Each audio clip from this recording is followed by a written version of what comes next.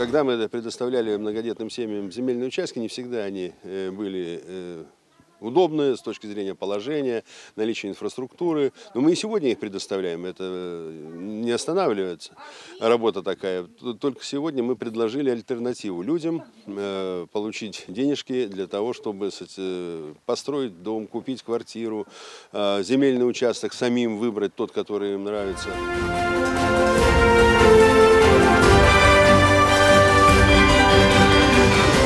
Можно было заменить земельный участок на вот этот сертификат денежный. Мы очень рады. Очень рады. Сначала мы хотели приобрести квартиру, э, не для себя жилье, а для детей в будущем. Хотели приобрести однокомнатную квартиру, но не получилось по формальным там каким-то. Поэтому мы решили сертификат реализовать все-таки вот таким образом.